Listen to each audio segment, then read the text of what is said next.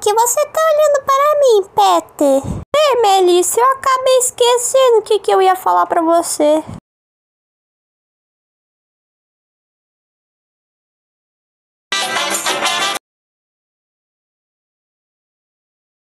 Ah, lembrei o que a gente ia fazer, Melissa.